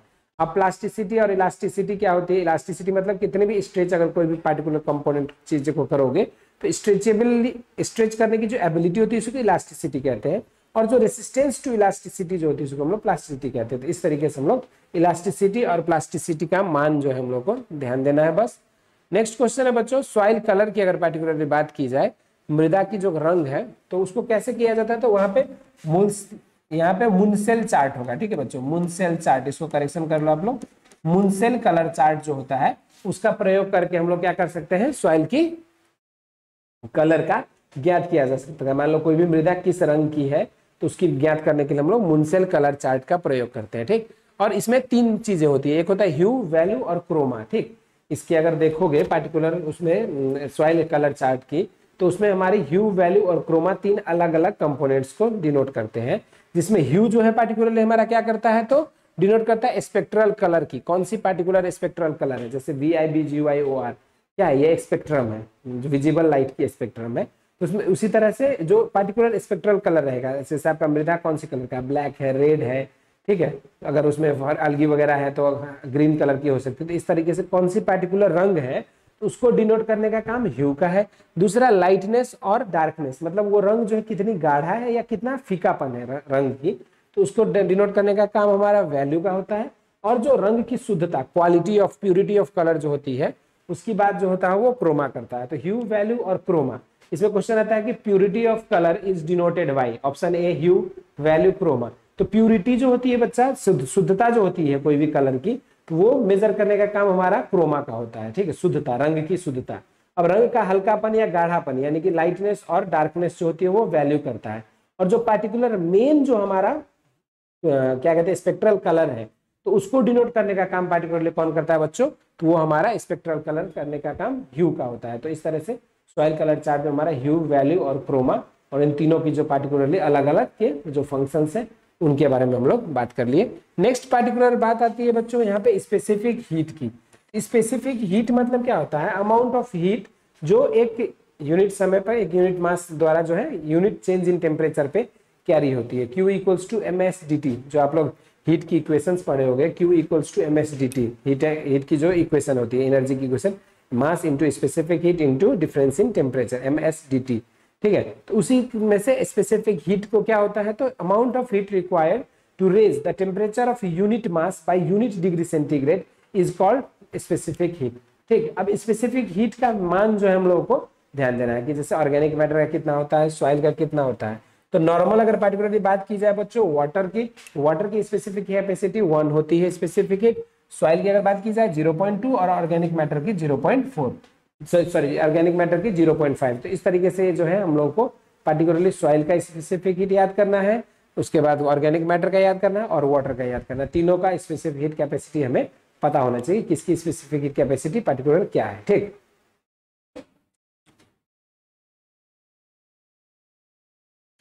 उसके बाद यहाँ बात हो रही है बच्चों, इस डायग्राम को आप देख सकते हो। इस डायग्राम से आपको काफ़ी सारे क्वेश्चंस अगर पूछे जाते हैं, जैसे डिफिनेशन बेस्ड क्वेश्चंस जो होते हैं, वो आपके इस डायग्राम से बन जाएगा।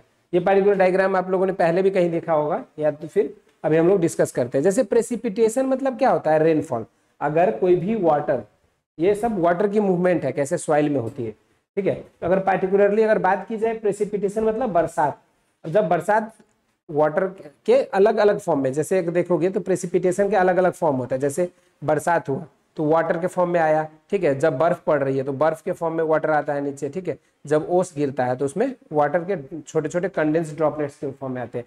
तो प्रेसिपिटेशन मतलब कोई भी रूप में अगर पानी, धरती पे आ रहा है तो उसको प्रेसिपिटेशन कहेंगे। और रेनफॉल मतलब पार्टिकुलर उसका एक पार्ट है, जिसमें क्या होता है वाटर के ड्रॉपलेट्स के फॉर्म में जो है वाटर के फॉर्म में जो है, क्या होता है वाटर सॉइल पे गिरती है। तो उसको हम लोग रेनफॉल कह देते हैं, और precipitation is a broad term अब ब्रोड टर्म प्रेसिपिटेशन जब आता है तो वहाँ पे क्या हो रहा है? जैसे पौधे पे गिरा पानी तो ये एक प्लांट है तो यहाँ पे इंटरसेप्शन कुछ पार्ट जो होती है प्लांट की, वो क्या करता है? वाटर के कुछ पार्ट्स जो होता है, वो प्लांट्स खुद में अपने पास ले लेता है एब्जॉर्ब कर लेता है।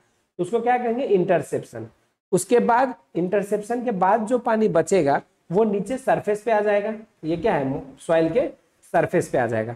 अब सॉइल के सरफेस पे आने के बाद भी कुछ पानी जो है नीचे एब्जॉर्ब कर लेगा प्लांट नीचे की तरफ़ जाएगा। तो उसको हम लोग क्या कहते हैं? इनफिल्ट्रेशन इनफिल्ट्रेशन इन मतलब अंदर की तरफ़ फिल्ट्रेशन मतलब जैसे फ़िल्टर अगर आप देखोगे वाटर फ़िल्टर देखते हो तो वाटर फ़िल्टर में क्या होता है? हम लोग गंदा पानी जो भी नॉर्मल पानी रहता है उसको ऊपर रख देते हैं। उसके बाद धीरे धीरे उसमें से पानी नीचे फ़िल्टर होकर नीचे के कंटेनर में हम लोग अपना ग्लास में या फिर नीचे जो कंटेनर लगे रहते हैं उसमें हम लोग कलेक्ट होता है। फ़िल्टर का भी मैकेनिज्म तो इसी तरह से हमारा इनफिल्ट्रेशन में क्या होता है? जो भी सॉइल पार्टिकल्स रहेंगे, उनके थ्रू पानी नीचे की तरफ़ जाएगा। और कुछ पानी जो एक्सेस ऐसा तो नहीं है कि यहाँ पे मान लो अभी दस लीटर पानी हमने एक जगह गिरा दिया तो क्या होता है? कुछ पानी तो नीचे सरफेस पे चला जाएगा, बाकी तो सरफेस रन ऑफ़ इस तरीके से बह जाएगा। और जो पानी बह के चला जाएगा, उसको क्या कहेंगे हम लोग? सरफेस रन ऑफ़ यानी कि सतह पर जो है वो बहने लगेगा सरफेस रन ऑफ़ ठीक? उसके बाद अगर पार्टिकुलर पानी नीचे की तरफ़ आ गया, ये हमारा सॉइल प्रोफ़ाइल में पानी आ गई है, ठीक? अब सॉइल प्रोफ़ाइल में पानी आने के बाद दो चीज़ें हो सकती है। या तो वो पानी इस तरीके से नीचे की तरफ़ चला जाएगा, ठीक? या तो ये पानी होरिजेंटल मूव करेगा पानी में तो सॉइल प्रोफ़ाइल में। तो जो होरिजेंटल मूवमेंट अगर सॉइल प्रोफ़ाइल में हो रही है पार्टिकुलर पानी की पार्टिकुलर पानी की होरिजेंटल मूवमेंट अगर सॉइल प्रोफ़ाइल में हो रही है तो उसको क्या कहोगे बच्चों? सीपेज ठीक है तो सीपेज मतलब क्या हुआ? Horizontal flow of water in the soil profile ठीक? होरिजेंटल फ्लो उसको क्या कहते हैं हम लोग? सीपेज उसी के बाद ये नीचे की तरफ़ चला गया तो इसको हम लोग क्या कहेंगे? पर्कुलेशन अब पर्कुलेशन मतलब क्या हुआ? Vertical flow of water downward the soil profile नीचे की तरफ़ सीधे अगर जा रहा है तो उसको पर्कुलेशन और इसी तरह से मिट्टी में साइड में जा रहा है तो उसको क्या कहेंगे? सीपेज अब पर्कुलेशन के बाद जब पानी अपने रूट जोन जो पौधे की रूट जोन है, जड़, उससे भी नीचे चला जाएगा तो इसको पार्टिकुलर क्या कहेंगे हम लोग बच्चों? लीचिंग, निछालन, क्योंकि इसके बाद जब रूट जोन के नीचे चला जाएगा पानी तो वो पौधा क्या करेगा, वापस से नहीं ले सकता है। तो उसको हम लोग पार्टिकुलर लीचिंग यानी कि निछालन कहेंगे। तो इस तरीके से आपको मैंने यहाँ पे अभी हम लोग पाँच टर्म्स बेसिक डिस्कस किए। सबसे पहला प्रेसिपिटेशन क्या होता है, उसके बारे में बता दिया। उसके बाद इंटरसेप्शन क्या होता है इन्फिल्ट्रेशन क्या होता है सरफेस रन ऑफ़ क्या होता है सीपेज क्या होती है, और पर्टिकुलर पर्कुलेशन और लीचिंग क्या होता है। इन सब सारी चीज़ों के बारे में हम लोग अभी यहाँ इसके बाद नीचे डायग्राम के साथ डिस्कस करने के बाद हम लोग particular one by one definition देखेंगे। तो पर्कुलेशन क्या है? Slow movement of water through the pores in soil और परमिएबल ठीक है? स्लो मूवमेंट जो पानी की होती है, उसको पर्कुलेशन कहते हैं, लेकिन within the soil profile और ये वर्टिकल मूवमेंट है। ठीक है? ये कैसा है बच्चों? तो वर्टिकल मूवमेंट है पर्कुलेशन जो है पर्टिकुलरली हमारा कैसा मूवमेंट है? वर्टिकल मूवमेंट है। क्या है? वर्टिकल मूवमेंट उसके बाद अगर बात करेंगे हम लोग लीचिंग की तो लीचिंग जो है वो हमारा क्या है? वो भी वर्टिकल मूवमेंट ही है नीचे की तरफ़। लेकिन सॉइल के रूट जोन के बाहर की चीज़ें। जैसे मान लो एक प्लांट है यहाँ पे तो इसकी जड़ यहाँ तक आई है, लेकिन इसके नीचे जब कोई भी चीज़ की मूवमेंट होगी तो उसको हम लोग पार्टिकुलर क्या कहेंगे? निछालन, यानी कि लीचिंग कहेंगे उसको, ठीक? लेकिन उससे अगर ऊपर ही के जो रूट जोन में ही अगर नीचे की तरफ़ हॉरिजेंटल मूवमेंट वर्टिकल मूवमेंट हो रही है, उसको पर्कुलेशन हॉरिजेंटल को सीपेज ठीक? नेक्स्ट क्वेश्चन है हमारा infiltration soil ability to allow the movement of water movements water particles into the soil profile जो सॉइल के प्रोफ़ाइल के नीचे की तरफ़ जब मिट्टी के सरफेस से, जो सतह से अगर नीचे की तरफ़ पानी जाएगी तो उसको क्या कहेंगे? इनफिल्ट्रेशन ठीक? उसका नेक्स्ट है इंटरसेप्शन इंटरसेप्शन मतलब क्या हुआ? कि बरसात का वो भाग जो मिट्टी तक नहीं पहुँच पाया, जो पौधे के जो पत्ती, डंठल लीव्स जो है, उन्हीं सब में जो पानी रह गया, उसको क्या कहेंगे? इंटरसेप्शन उसके बाद पार्टिकुलर प्रेसिपिटेशन मतलब कोई भी फॉर्म जैसे देखो, आप यहाँ देख सकते हो रेन के फॉर्म में हो या सीट के फॉर्म में या स्लेन के फॉर्म में या हेल के फॉर्म में, कुछ भी फॉर्म में अगर पानी आ रहा है वापस धरती के ऊपर तो उसको हम लोग क्या कहेंगे? प्रेसिपिटेशन इसके अलग अलग रूप में हो सकता है। स्नो के फॉर्म में हो सकता है वाटर के फॉर्म में हो सकता है रेन के फॉर्म में हेल के फॉर्म में, इस तरीके से, ठीक? उसका सीपेज मतलब क्या हुआ? Horizontal flow of water in the soil profile ठीक है? होरिजेंटल फ्लो सीपेज सीपेज का, और ये सारी चीज़ें डिफिनीशन आपको पूछी जाती है बीएचयू एंट्रेंस से पर्टिकुलरली अगर बात करोगे तो हर साल दो चार डिफिनेशन पूछी जाती है। जैसे पिछले साल आप देखोगे 2020 की अगर पर्टिकुलर बात करें हम लोग तो इंटर क्रॉपिंग का डिफिनेशन आप लोगों को पूछा गया था, ठीक है? रैंचिंग क्या होता है एनिमल हस्बेंड्री से ये पूछी गई थी। तो इस तरीके से आपको टर्म्स वाइज जो है इंपॉर्टेंट टर्मिनोलॉजीज जितने हम लोग पढ़ते हैं, उन सब का एटलीस्ट डिफिनेशन आप लोग को याद करना है। प्रोसेस पूरे समझ में रखना है और बाकी डिफिनेशन जो है हमें पता होना चाहिए कौन सा ओरिजेंटल मूवमेंट है, कौन सा वर्टिकल मूवमेंट है। कौन सा वाटर प्लांट ले पाता है, कौन सा नहीं ले पाता। क्योंकि आपके जितने भी ऑब्जेक्टिव क्वेश्चंस बनते हैं बच्चों, वो कॉन्सेप्ट बेस्ड होते हैं। क्योंकि इस तरह से डिफिनेशन सिंपल आपने याद कर लिया और इस तरह से सिंपल वो डिफिनेशन उठा के आप लोगों एग्ज़ाम्स में नहीं आता। वो क्या होता है कॉन्सेप्चुअल क्वेश्चन ज़्यादातर ऑब्जेक्टिव में पूछी जाती है। ठीक है तो इसलिए इसको ध्यान देना है।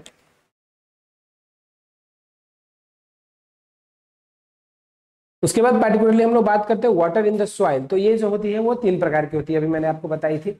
क्या क्या बताया था मैंने? तीन प्रकार का। एक पहला मैंने बताया था ग्रेविटेशनल या वाटर यानी कि गुरुत्वाकर्षी जल। दूसरा होता है हमारा कैपिलरी वाटर यानी कि आर्द्र केसिका जल। और नेक्स्ट होता है हमारा हाइग्रोस्कोपिक वाटर यानी कि आर्द्रता ग्राही जल। ठीक है, अब तीनों के बारे में हम लोग को ध्यान क्या देना है? जैसे एक पर्टिकुलर है, हम लोग यहाँ पे बात करते हैं सॉइल की। ये हमारे सॉइल के मॉलिक्यूल्स है, ठीक? अब सॉइल के मॉलिक्यूल्स में कुछ पार्टिकल्स वाटर के इसके अंदर इस तरह से होल्ड होके रहेंगे।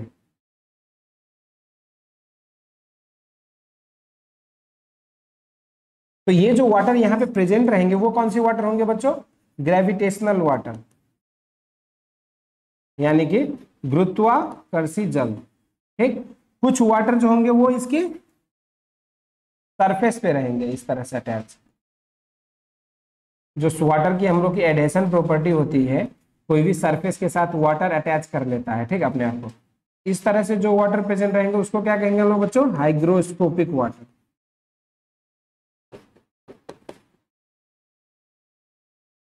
ठीक? उसके बाद जो है बच्चों, अगर नेक्स्ट हम लोग पार्टिकुलर बात किया जाए तो हाइग्रोस्कोपिक वाटर के बाद नेक्स्ट जो हम लोग की वाटर जो इसके पोर्स के बीच में, जो यहाँ पे प्रेजेंट रहेंगे, जो वाटर मॉलिक्यूल्स के पोर्स के बीच में इस तरीके से जो प्रेजेंट रहेंगे।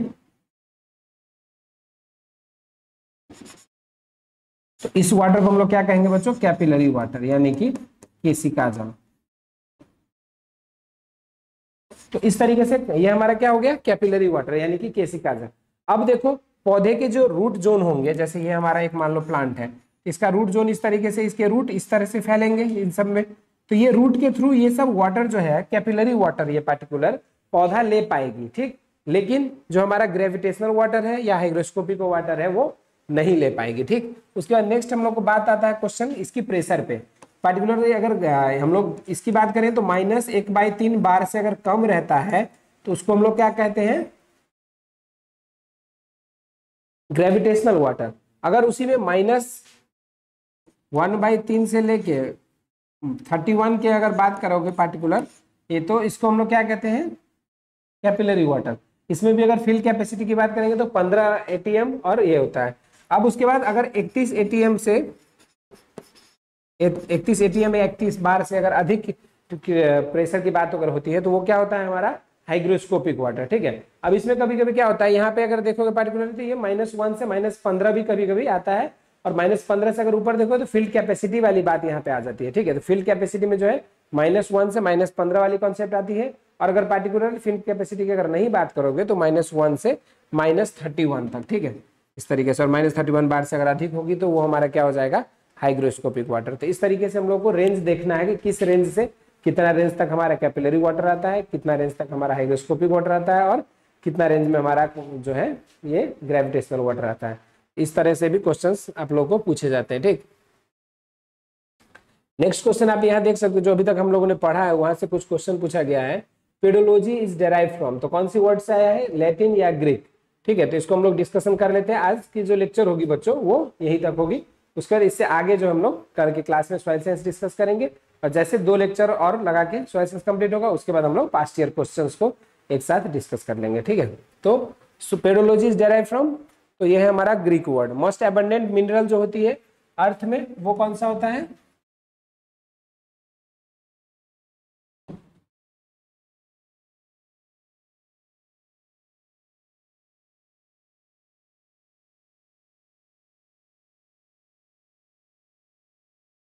ठीक है pedology derive from Greek word most abundant mineral अगर पूछा गया है तो ये फेल्सपार होगा। अड़तालीस परसेंट होता है, ठीक। छत्तीस परसेंट हमारा क्वार्ड्स होता है। उसके बाद is a passive factor of soil formation ठीक है। अब अगर पार्टिकुलरली बात की जाए तो पैसिव फैक्टर में हमने दो बताया था। एक क्या बताया था?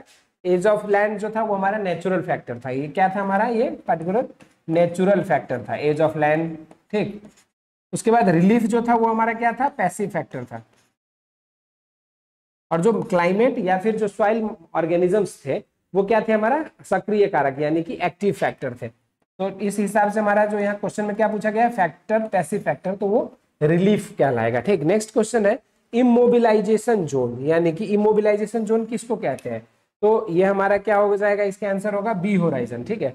क्योंकि बी होराइजन को ही इमोबिलाइजेशन स्थिरीकरण जो होता है, वो फिक्सेशन जब तो उसकी बात अगर करेंगे तो इमोबिलाइजेशन जो है हमारा वो बी होराइजन कहलाएगा। इसी में अगर क्वेश्चन आता है कि मिनरलाइजेशन जोन किसको कहते हैं तो वो ए होराइजन को कहते हैं, ठीक? और उसके बाद हाँ सही आंसर है taking age a next question है percentage of minerals in soil तो सॉइल में अगर मिनरल की परसेंटेज की बात कर रही है यहाँ पे क्वेश्चन में तो इसमें हम लोग को क्या समझना है? मिनरल यानी कि खनिज पदार्थ की मात्रा तो 45 प्रतिशत होता है, ठीक? अगर पार्टिकुलरली बात करते हैं हम लोग, यहाँ पे ऑर्गेनिक मैटर की तो वो पाँच प्रतिशत हो रही थी। नेक्स्ट पच्चीस प्रतिशत हमारा वाटर होता है, पच्चीस प्रतिशत हमारा क्या होता है? एयर होता है। ठीक? देखो बेटा, इसमें पाँच परसेंट नहीं होगा, क्योंकि यहाँ पे मिनरल की बात हो रही है। मिनरल की बात हो रही है तो पैंतालीस परसेंट हम लोग देखेंगे। अगर पर्टिकुलर हम लोग को ऑर्गेनिक मैटर की बात होती, ठीक है? ऑर्गेनिक मैटर की ऑर्गेनिक मैटर की अगर बात होती, तब जाके आंसर हमारा क्या होता बच्चा? पाँच परसेंट होता है ठीक है?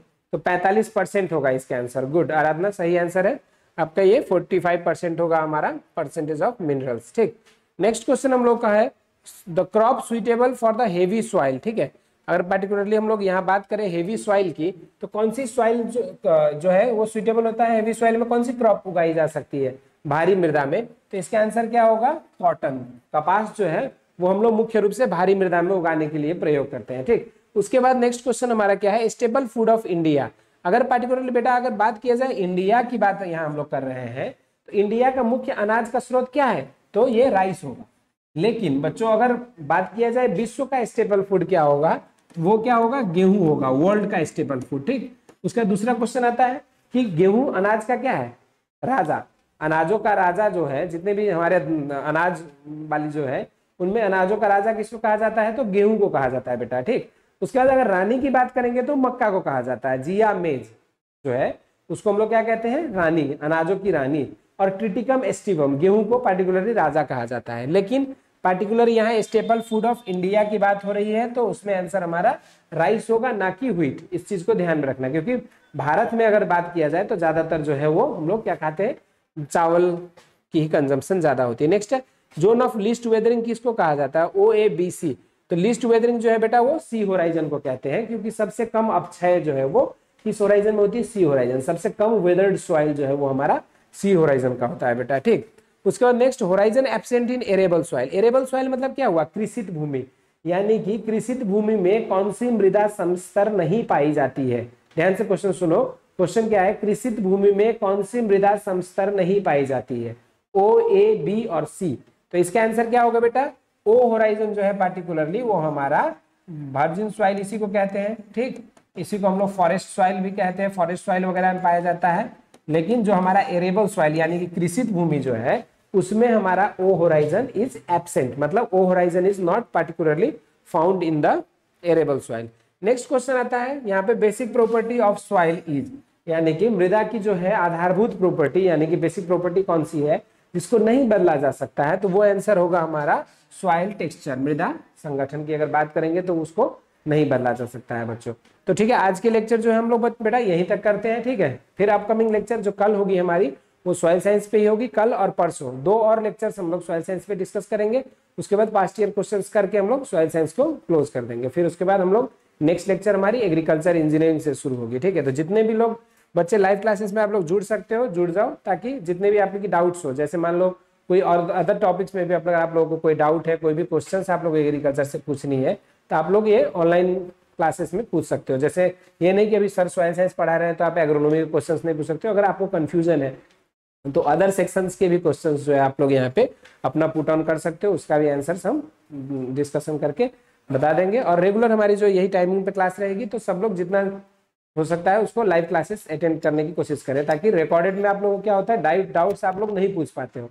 और जो भी कन्फ्यूज़न होती है, उसको बाद में फिर क्लियर करना दिक्कत हो जाती है। तो लाइव क्लासेस जो आप लोग को दी जा रही है, उसको, उसका फ़ायदा उठाओ और जितने मैक्सिमम बच्चे हो सकते हैं लाइव क्लासेस के माध्यम से जुड़ के अपनी स्टडी पूरा कर सकते हो, ठीक है? तो आज के लिए इतना ही करते हैं स्टूडेंट्स थैंक यू और सब लोग अपने क्लास अपने घरों में रहो और अच्छे से पढ़ाई करो, ठीक है बेटा? चलो थैंक यू क्लास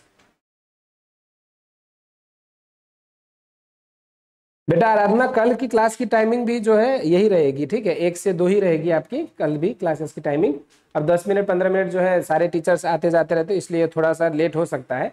लेकिन क्लास की टाइमिंग जो है वही एक से दो वाली ही रहेगी, इसी में थोड़ा बहुत ऊपर नीचे होगा टाइमिंग ठीक है? चलो थैंक यू